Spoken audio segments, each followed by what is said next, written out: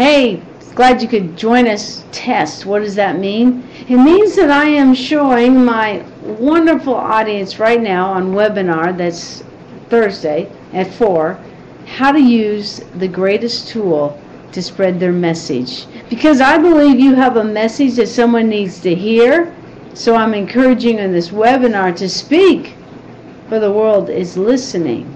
All right, I'm going to go back to my, li my live group that's joining me in this webinar.